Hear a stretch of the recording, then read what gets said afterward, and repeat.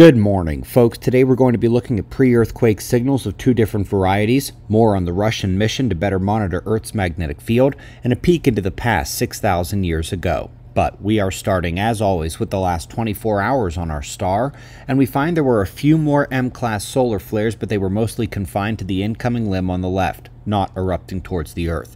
There are several big sunspots just out of view about to turn in, and they will be the top eruption watch over the next week.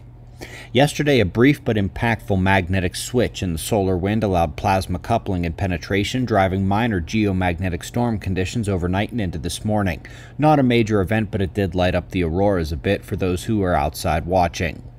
The sunspots are complex, but these ones really haven't been firing. We'll be watching the incoming limb on the left for the appearance of those new ones. Should be later today. First up in the articles is a preprint about the millionth study saying atmospheric electricity is a key signal of a coming earthquake.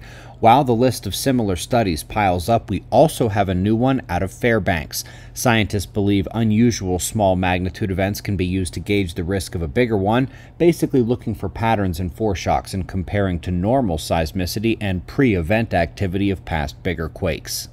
We've got more here on the Russian mission to launch CubeSats to monitor Earth's magnetic field. They're going full throttle on this mission, set to launch in the coming months. They are ready to go and believe they can pull it off for a fraction of the price of Swarm and MMS.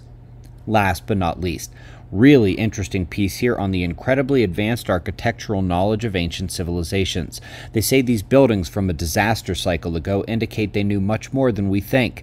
I know many observers already believe that. Here's more in that same vein.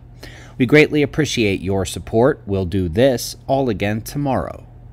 Right here, but right now at 6 a.m. in the new Valley of the Sun.